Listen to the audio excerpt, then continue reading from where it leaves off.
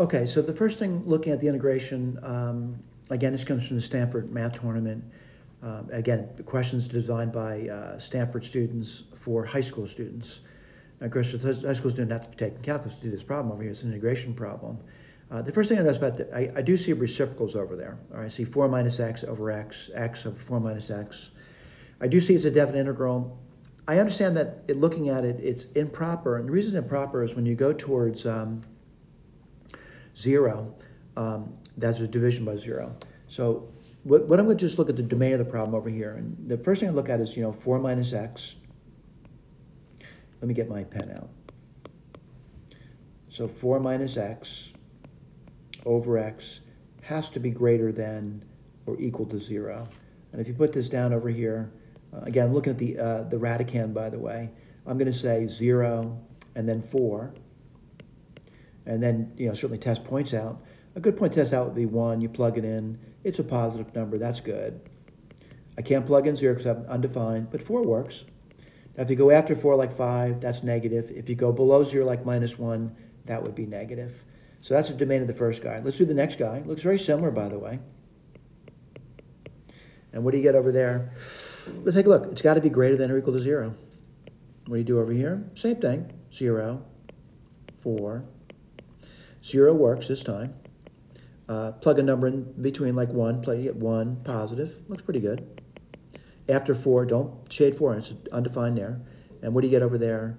Uh, let's see, 5 would give you a negative number. Below 0, like minus 1, that would give you a negative number. So I'm going to say that this um, integrand, looking at the intersection of those sets, two sets, is going to be defined on an interval from 0 up to 4. Don't touch 4. Don't touch 0 either.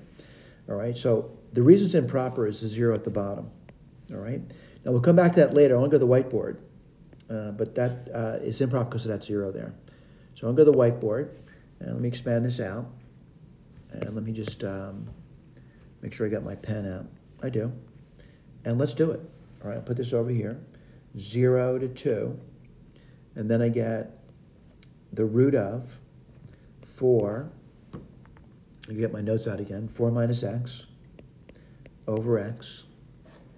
And then I get uh, minus. It's another radical x and 4 minus x dx. And again, I have to stick an interval between 0 and 4. Well, it's between 0 and 2, so I'm going to say between 0 and 2, which means this should be written as a limit problem. And I'll write this over here. The limit as a goes towards 0 from the right side. This is going to go from a to 2. And now we put this integrand again. Now, if you look at the Stanford um, uh, test, they do provide solutions, and they, they provide a variety of solutions.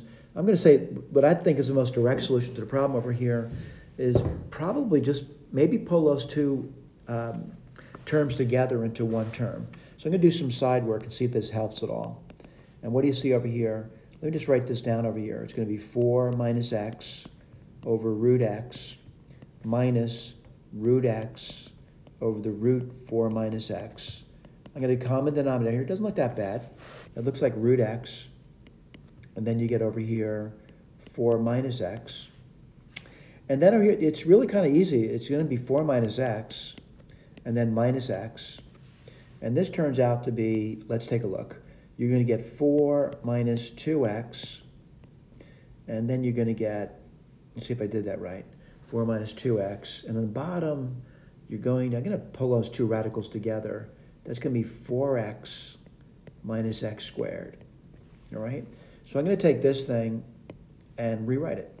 Its limit as a goes to 0 from the right side, a, 2, and this turns out to be 4 minus 2x dx, and on bottom you get the root, which is 4x minus x squared.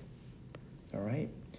Now, what I notice about this over here, maybe be convenient, but I do notice the u substitute is going to work, by the way. So write this over here. I'll let u equal 4x minus x squared. And then what's du going to be equal to? du is going to be 4 minus 2x dx. Well, isn't that convenient? All right? So I'm gonna do a little side work now. I'm gonna try to get the antiderivative by writing this over here. It's gonna be one du, and at bottom it's gonna be u to the one half power. Again, a little side work over here. This is side work.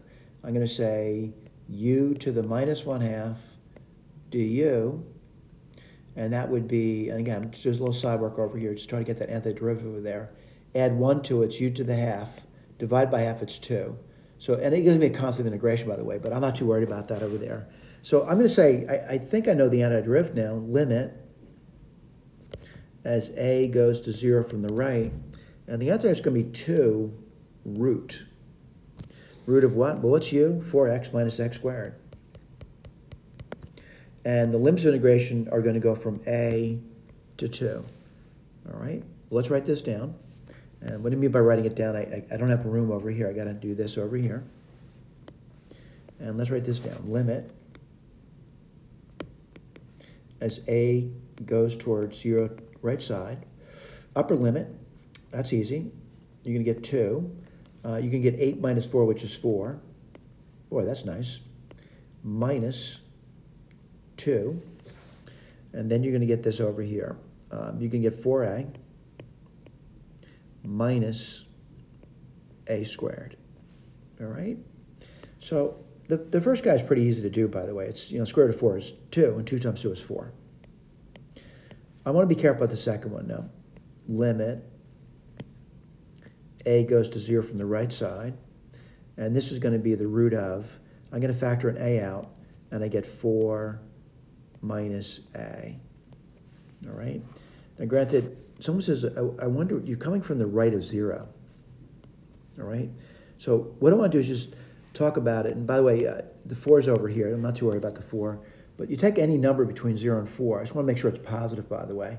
Like you put one over there. And you're showing me a positive number. So it, it, this limit's defined, by the way. What's defined to be zero? So what do you get? Four minus two times zero, which is going to be four. And we are done. Thanks for paying attention.